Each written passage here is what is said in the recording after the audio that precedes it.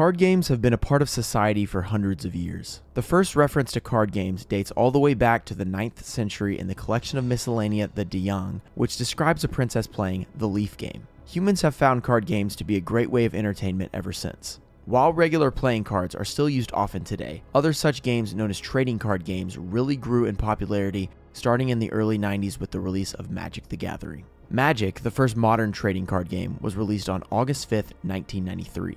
This release changed the way people appreciated cards. Now you did not just play games with the cards, but you could also collect as well. This collectability created a loyal following that kept players and collectors of each game coming back time and time again not just to play, but to relive the nostalgia of times past. One of the main ways this nostalgia can be relived is through the opening of booster packs. In collectible card games, each pack is random, some contain desirable and therefore valuable cards, while others contain low value cards. The thrill of the chase combined with the nostalgia of times past makes opening these old and oftentimes expensive booster packs worth it. I'm about to show you the top 10 trading card pulls ever posted on YouTube. Let me know in the comments what you think is the best pull of all time. I hope you enjoy. Before we get started, we do have a giveaway. I'll be giving away this Gate Guardian and Blackluster Soldier that we pulled on the channel. All you have to do is like this video, be subscribed, and let me know what you think the top 10 order should have been. Was I right? Was I wrong? Is there something I missed? Let me know. Gladiator's Assault. Okay, Gladiator Beast, Hoplomus. Chamberlain of the Six Samurai. Light Imprisoning Mirror. Gladiator Beast, Halberd. Oh! Oh my god! What? First pack, guys! A few moments later. My wallet will hurt. Terra Girl, we can get you a secret rare, then you will not be hurting, my friend. Trust me. See, this, see, look, when I say bent, this looks like it could be a foil. I could see that in the pack. Lucky Cloud. Ancient Gear Knight. I forgot this card comes in the set. Spirit of the Six Samurai. Swift Strike Armor, guys. We've got a magic card. Are you ready for a magic formula? Oh my god! No! No! No! No!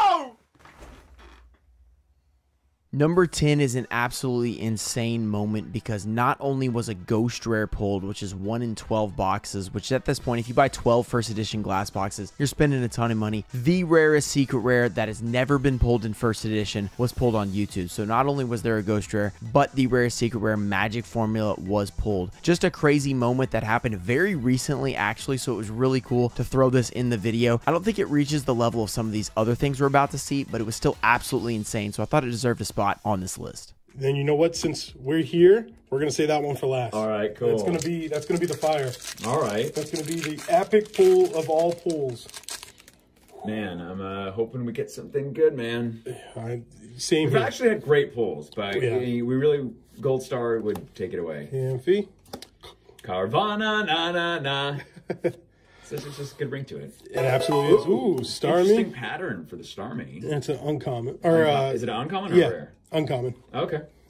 Interesting. And oh my god! We just pulled the Rayquaza Gold Star! Woo! My gosh! Holy smokes, everybody! I, I can't believe this. Oh my Lanza! Oh my gosh. Holy smokes! Oh my gosh.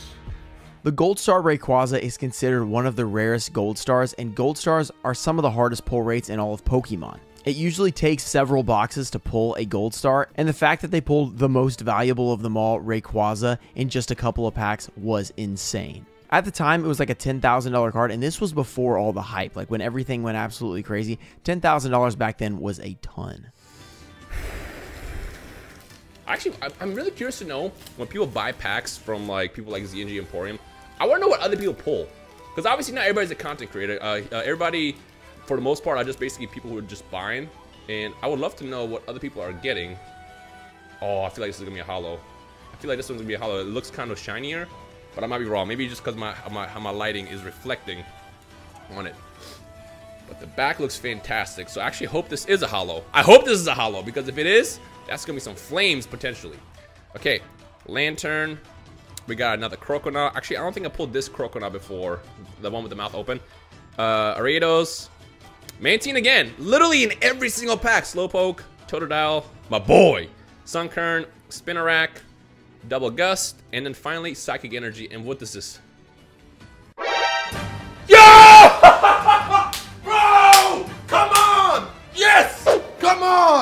Yes! Yo, where's where's the card savers? Is this is this Lugia?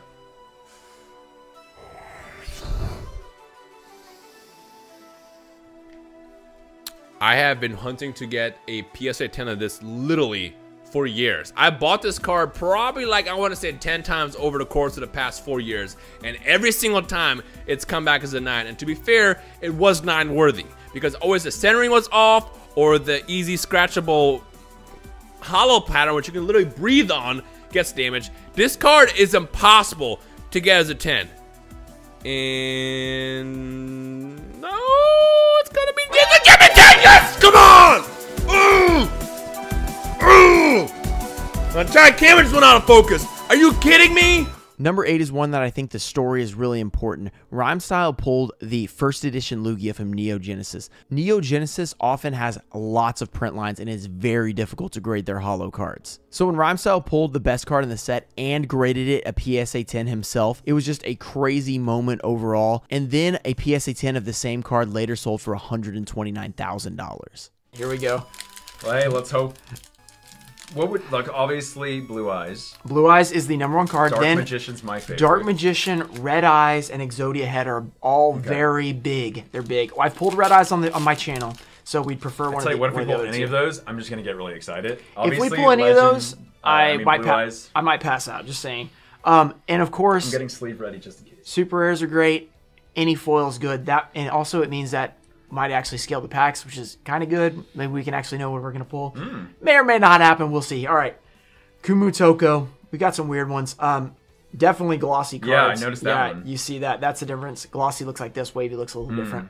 All right, Kumootoko. It just looks really nice. Forest, very good. I like the magic cards in the originals. They're just the nice green. I'm a big green fan. Mm-hmm. We got some green in the background as well. Skull Servant, that's pretty good. The centered commons back. too. These actually are worth a little bit if they're graded. Mm-hmm. Green Phantom King. it after okay, this? is it, guys. Okay, here we go.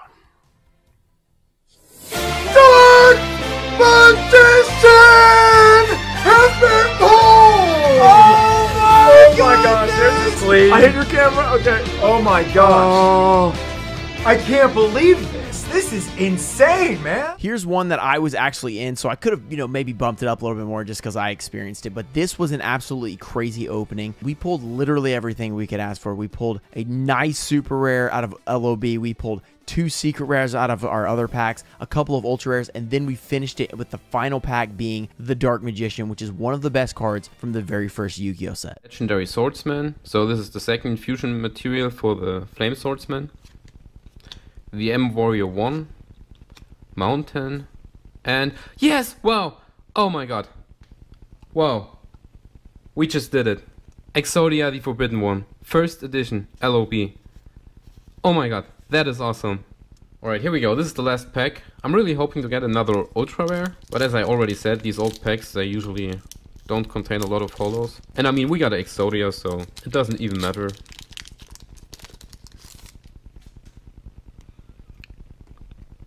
Kurama, Terra the Terrible, Dark Gray, a Turtle Tiger, and holy Oh my, this is what is, what is wrong with this box? A blue eyes white dragon in the last pack after pulling Exodia and Raigeki. This is madness. Wow, I cannot even believe it. This deserved a spot on this top list because this was probably the best Yu-Gi-Oh box you could possibly open. Literally every foil was insane, and the ultra rares were absolutely amazing, being Exodia and Blue Eyes White Dragon, two of the most expensive cards in Yu-Gi-Oh. This was one of two first edition LOB Blue Eyes White Dragon pulls ever recorded. If not, if I get a rare, even the rares in the set are very, uh, very nice to have. Okay.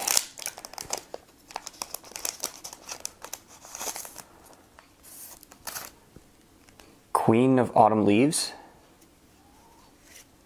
Another Water Magician. And. wow. Oh, it's a Jin's. Oh my gosh. It's a Jinzo jar. If you didn't know about this, so Morphing Jar is one of those cards where it has a rare holo misprint. If you can see very closely, it's got that Jinzo head outline. So they call him the Jinzo jar. I was not expecting this at all. Jinzo and Morphing Jar on their own in their original prints are crazy valuable, but the Morphing Jar with the misprint where they actually had a Jinzo showing in the holo foil is an absolutely insanely rare card. And the fact that this guy pulled one out of a very rare pack is 1 in 108 to get the Morphing Jar, and then it was the misprint, and then he graded it a 10. This pull has to be one of the most iconic on YouTube. Here we go, guys. 11 tradable cards, first edition stamp, and it is a Charizard artwork. Oh my gosh. I need two. Do my best to not ruin the cards on the inside, but save this pack. Oh gosh, I'm ruining it. I'm ruining it. Oh, even the pack sell for money. Oh, not that I would sell it. Okay. Just gonna put that back over there. Okay. I will be doing the card trick today. One, two, three. Oh my gosh, I'm shaking right now. All right, we have to slow roll this because each card is worth tons of money. All right, well, technically, the holographics are, but even these, this is what it's about, guys. Rarest pack in the world opened up. Ivy Ivysaur. Look at that print. Gosh. All right, sorry, guys. Okay, calming down, calming down. Ivy Ivysaur. Now, I will say this if for some reason we don't get even a holographic, I'm still, I, st- I will be okay. Because what this is about right now is us coming together as a community and taking the ultimate risk for just for doing something we love, and that's Pokemon cards, and that's Pokemon and the community itself. Pokemon Center. Machoke. Machop. This is insane. Machop. Wait, the card trick's not different for this one, is it?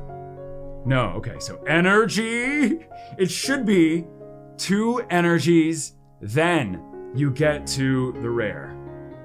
And I will be doing something that I always do on my channel, usually for uh, newer packs. The Guess the Energy patented trademark of this channel. I'm gonna guess since there's two energies, this my heart's going crazy right now.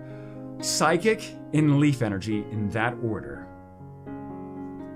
Rattata. Oh my gosh. Okay, hands are sweating. First energy. Okay, we did not get the first energy, but energy. Oh no, what is this? It is supposed to be another energy! No way.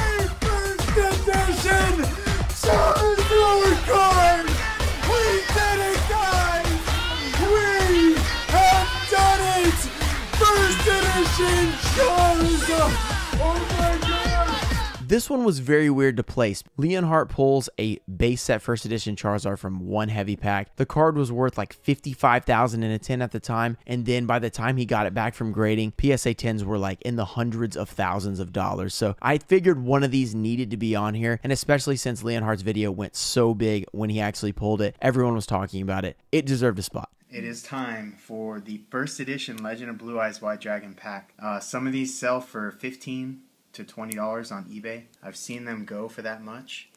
I was thinking about selling this one, but I thought, you know what, it's free. I'm going to open it. If anything is a holo, this is what I would want. But if it's a rare, I would love a Fusionist. Because I don't have one. And it doesn't look like it's holo, but that's alright. So Hitatsu Hitotsu-Me Giant laser cannon armor, petite angel, the furious sea king, and a giant soldier of stone. It's not a fusionist. Oh well. Whoa! What the? Are you kidding me? Whoa! That's what? How is that possible? I just got a first edition Blue Eyes White Dragon. It's in perfect condition. You've got to be kidding me. Now, this one, as a Yu Gi Oh fan, was absolutely insane. As I mentioned before, there's only been two first edition Blue Eyes pulls on YouTube, and this one was the first one ever back in 2013. These packs weren't very valuable at the time. Blue Eyes White Dragon was only around $25. But it wasn't the value that made this crazy. First of all, it was the first Blue Eyes White Dragon pulled on YouTube. Secondly, it was out of a single pack. And this single pack was not bought by the person who opened it, it was given to them as a gift from a seller who was throwing in an extra pack. Yeah, they didn't buy this, they didn't search this out. They were gifted this pack for free just because the seller decided to throw it in. And not only that, this was an error pack. There's only supposed to be either a foil or a rare in Old School First Edition Legend of Blue Eyes. Old School Expert pulls a rare and thinks that the pack's over, and right behind it is a Blue Eyes White Dragon. So he got himself an error pack with a First Edition Blue Eyes White Dragon in it. That was free. I will never get over this story. I think it's the most crazy and awesome story in Yu Gi Oh! opening history, and I love that it was recorded. Oh, I'm committed now. I am committed. And thus, it's opened. Card that you can see will be a rare. I don't think it is. No, wait, this this is a rare. Okay, this is a god pack. I literally got two. I'm getting a power nine right here today. Oh my gosh. A few moments later. Two-headed giant of Foriys. Not from here. I did it. And I got more to go.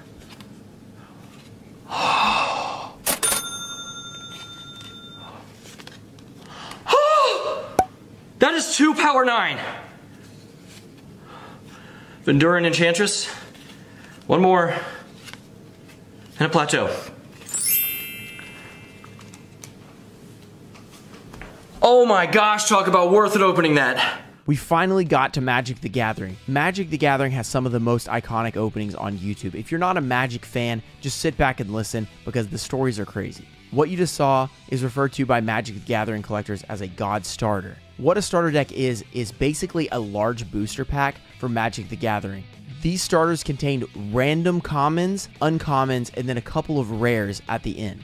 The rares are obviously the ones that you want to go for. They have the potential to be the Black Lotus, which is the biggest card in Magic the Gathering, and other Power 9 cards. A God Starter is where all of the uncommons are actually rares because they had been mispackaged and basically you got lucky and hit like 15 rares instead of two. Imagine if you're a Pokemon fan opening a base set first edition pack and having all holos, or if you're a Yu Gi Oh fan, Legend of Blue Eyes being all holos. That is basically what you're getting, except you get even more cards than that because it's a starter. A God Starter has been recorded three times on YouTube. The one you saw, I think, was the absolute best version, but I will group in all three at number two because they are absolutely crazy. Like huge errors where you pull tons of valuable cards that are just extremely rare. I mean, they're from 1993, so they're extremely old. Now let's go on to number one and see what could top that. Serra Angel, beautiful one. She seems to be pretty centered. And last uncommon, Soulnet. Here comes the first alpha rare at eight minutes in. Will it be the Lotus? Oh wow, Tropical Island. Dual land, there we go. And then the other one is, holy boosh! That's a freaking Black Lotus! Holy God! That's an alpha freaking Lotus! That should, holy, oh my God! That shouldn't happen. And there it is, the Alpha Black Lotus. I decided to include the Alpha Lotus pull and include all other Lotus pulls as well. So Open Booster says I actually pulled three Lotuses on camera. The crazy thing about Magic Rares is there were only 1100 of the Alpha Rares created. For the other card games like Yu-Gi-Oh! and Pokemon, the original packs like Base Set and Legend of Blue Eyes were printed into oblivion. Blue Eyes and Charizard, there are thousands and thousands of copies. The fact that this was pulled on camera was absolutely insane. So I was glad to put this at number one, even over Godstarters, over first edition Charizards, first edition Blue Eyes. This was just the coolest pull of all time if you're a trading card game fan. Make sure to let me know your opinion in the comments. Subscribe to the channel if you guys enjoyed this video because we'll be doing more cool stuff like this in the future. Shout out to TCG Trusted Cards, Toinfo Show, Tomato Juice, Stanley, Mike Nance, Mimic Echo, Spiky McFarlane, G Raider, and Daxter. Thank you guys for supporting the channel, and I'll see you guys next time. Peace.